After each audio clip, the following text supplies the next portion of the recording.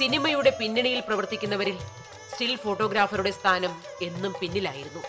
പക്ഷേ ഡേവിഡ് എന്ന ഈ ഫോട്ടോഗ്രാഫർക്ക് മുൻനിരക്കാർക്കൊപ്പം തന്നെയായിരുന്നു ഇരിപ്പിടം കിട്ടിയിരുന്നത്. ഏറെ സ്നേഹ ബഹുമാനങ്ങളും നേടാനുമായി. അല്ല എന്നെ സംബന്ധിച്ചിടത്തോളം ഞാൻ പറയുകയാണെങ്കിൽ എനിക്ക് ഇപ്പോൾ സത്യമാഷോ നസീർ സാറോ അല്ലെങ്കിൽ മധു സാറോ മമ്മൂട്ടിയോ മോഹൻലാലോ അവരെല്ലാം എന്നോട് വളരെ മാന്യമായ വിധത്തിൽ എന്നോട് പെരുമാറിയിട്ടുള്ളൂ. എനിക്ക് അങ്ങനെ തലമുറകളുടെയോ അല്ലെങ്കിൽ ജനറേഷന്റെയോ വ്യത്യാസം എനിക്ക് തോന്നിയിട്ടില്ല. വളരെ മാന്യമായ വിധത്തിൽ എന്നോട് പെരുമാറിയിട്ടുള്ളത്.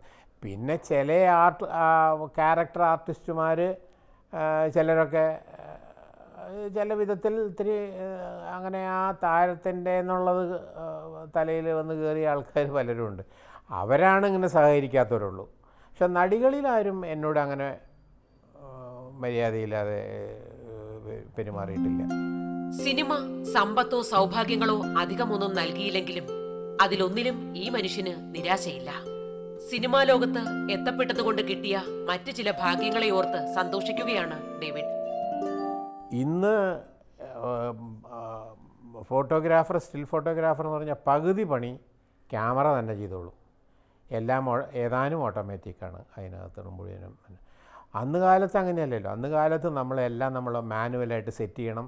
എക്സ്പോഷർ തന്നെ നമ്മൾ തന്നെ കണക്ക് കൂട്ടി നമ്മുടെ എക്സ്പീരിയൻസ് കൊണ്ട് നമ്മൾ വെക്കണം. പിന്നെ ഫിലിം എടുത്തു കഴിഞ്ഞത് പ്രോസസ്സ് ചെയ്യണം. അത് പ്രിന്റ് എടുക്കണം. പ്രിന്റ് എടുത്ത് കഴിഞ്ഞ് ആൽബത്തിൽ ഒട്ടിച്ച് ഇത് ആൽബം കൊണ്ടുപോയി കൊടുക്കണം. ആൽബം അവർ കൊണ്ടുപോകുന്ന വരെയുള്ള വർക്കുകൾ ധാരാളമുണ്ട് പിന്നെ പബ്ലിസിറ്റി വർക്കിനും. ഇന്ന് അങ്ങനെയല്ല. ഇന്നിപ്പോൾ എടുത്തു കഴിഞ്ഞാൽ ഉടനെ തന്നെ രാത്രിക്ക് രാത്രി സി ഡി ആയിട്ട് കൺവേർട്ട് ചെയ്ത് കൊടുത്തു കഴിഞ്ഞാൽ ബാക്കി വർക്കൊക്കെ അവർ തന്നെ ചെയ്തോളും. നമ്മൾ ഫോട്ടോഗ്രാഫർ ചെയ്യേണ്ട ഒരു കാര്യമില്ല. പണ്ടത്തെ കാലഘട്ടം ഇന്നത്തെ കാലഘട്ടമായിട്ടുള്ള വ്യത്യാസങ്ങൾ അതൊക്കെയാണ്. ഡേവിഡിന്റെ ക്യാമറയ്ക്ക് മുന്നിൽ വന്നു നിന്ന അഭിനേതാക്കൾ ഒന്നോ രണ്ടോ ഒന്നുമല്ല. ഒരുപാട് പേരാണ്. സിനിമയിൽ വാണവരെയും വീണവരെയും അത്രയധികം കണ്ടിട്ടുണ്ട് ഈ ക്യാമറാമാൻ. ഇന്ന് സിനിമ വിട്ടുനിൽക്കുന്ന ഈ കാലത്തും സിനിമയോടും സിനിമാക്കാരോടും ഒത്തിരി ഇഷ്ടം തന്നെയാണ് ഇദ്ദേഹത്തിന്. ഞാൻ ഒരേ സമയത്ത് മൂന്ന് ചിത്രങ്ങളൊക്കെ മദ്രാസിൽ മൂന്ന് സ്റ്റുഡിയോയിലൊക്കെ അറ്റൻഡ് ചെയ്തിട്ടുള്ള ആളാണ് ഒരേ സമയത്ത് ചിലപ്പോൾ കാലത്തെ മുതൽ വീട്ടിൽ നിന്ന് ഇറങ്ങി കഴിഞ്ഞാൽ രാത്രി പന്ത്രണ്ട് മണിക്കൊക്കെ വരിക. മൂന്ന് സ്റ്റുഡിയോയിൽ നാല് സ്റ്റുഡിയോയിലൊക്കെ. അറ്റ് എ ടൈം ഷൂട്ടിംഗ് നടക്കുന്നതായിരിക്കും. അപ്പോൾ അതിനെല്ലാം ഞാൻ അത് അഡ്ജസ്റ്റ് ചെയ്ത് വർക്ക് ചെയ്തുകൊണ്ടിരിക്കും പിന്നെ ഇത് എടുക്കുന്ന ഇത് തന്നെ ഇന്നും അന്നും ഞാൻ പിന്നെ ഞാൻ അസിസ്റ്റൻസിനെ ആശ്രയിച്ച് എവിടെ ഏൽപ്പിക്കാറില്ല. ഞാൻ തന്നെ പോകാറുള്ളൂ. കാരണം അസിസ്റ്റൻസിനെ ഏൽപ്പിച്ച് പോരുമ്പോഴുള്ള പ്രശ്നങ്ങൾ പലർക്കും പല വിധത്തിലുള്ള റിയാക്ഷൻസാണ് ചില സംവിധായകർക്ക് അത് ഇഷ്ടമാവില്ല. ചില ആർട്ടിസ്റ്റുമാർക്ക് അത് ഇഷ്ടമാവില്ല അതെന്താ അവിടെ പോയത്? അതൊരു ആർട്ടിസ്റ്റിനോട് ചോദിക്കുക തന്നെ ചെയ്തു. പ്രേംനസീറിന് പ്രേം നസീറിന് മാത്രമേ ഇമ്പോർട്ടൻസ് ഉള്ളൂ എന്നോട് ഒരു ആർട്ടിസ്റ്റ് ചോദിച്ചു. അതിനുശേഷം ഞാൻ പിന്നെ വളരെ കെയർഫുള്ളായിട്ട് ഞാൻ തന്നെ അങ്ങോട്ടും ഇങ്ങോട്ടും ഒക്കെ അഡ്ജസ്റ്റ് ചെയ്തിട്ട് പോയി വർക്ക് ചെയ്യുന്നത്. അത് ഗ്യാപ്പിൽ ഇങ്ങനെ എല്ലാം ഒരേ തൊട്ട് തൊട്ട് സ്റ്റുഡിയോസ് ഉള്ളതുകൊണ്ട് വലിയ പ്രശ്നങ്ങളൊന്നും ഇല്ലാതെ എനിക്ക് വലിയ കുഴപ്പമില്ലാതെ വിധത്തിൽ അഡ്ജസ്റ്റ് ചെയ്യാവുന്നുള്ളൂ. ഇവിടുത്തെ സീന് നോക്കി.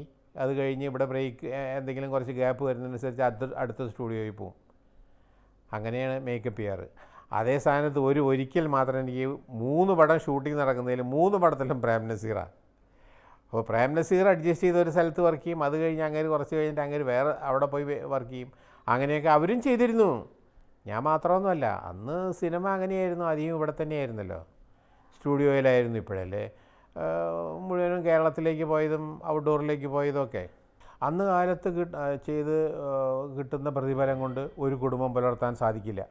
അന്നത്തെ കാലഘട്ടത്തിൽ വീട്ടുവാടക കുട്ടികളുടെ പഠിപ്പ് ഇത് എല്ലാം വെച്ച് നോക്കുന്ന വെച്ച് നോക്കുമ്പോൾ മലയാള സിനിമയിൽ വർക്ക് ചെയ്ത് കഴിഞ്ഞാൽ കിട്ടുന്ന പ്രതിഫലം കൊണ്ട് ഒരിക്കലും ജീവിക്കാൻ സാധിക്കില്ല.